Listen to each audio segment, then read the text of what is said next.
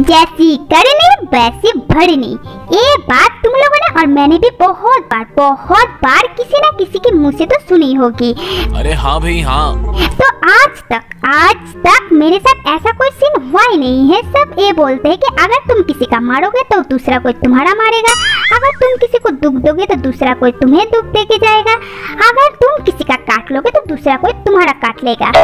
पर मुझे नहीं लगता है कि ये एकदम मतलब ये सही है। मतलब मैंने इतनी बड़ी हो चुकी हूँ मैंने इतनी दुनियादारी देखी हूँ पर आज तक मेरे साथ कभी ऐसा सीन हुआ ही नहीं है। तो मुझे लगता है कि ये बात एकदम नल्ला बेकार है।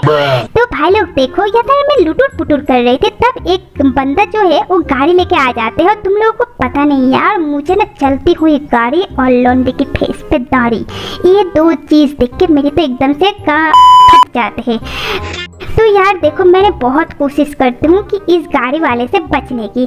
तब देखती हूँ कि एक गाड़ी वाला तो हॉर्न बजाते हैं यार हॉर्न तो मैं लपक के जाती हूँ और टपक के उसकी गाड़ी में बैठ जाती हूँ।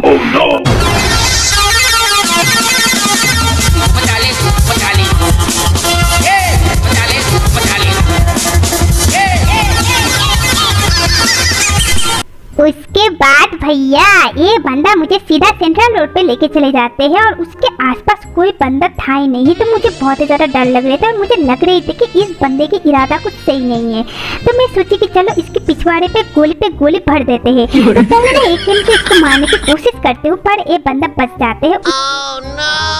तो देखो भैया इस बंदे ने मुझे हेल्प किया था और मैंने तो इसकी पूरी की पूरी कट ली हा हा हा। तो जो बोलते ना कि जैसी करनी, वैसी भरनी, ये एकदम नल्ला बेकार है। क्योंकि यार देखो, आसपास कोई नहीं है तो मेरा कोई नहीं काट सकता।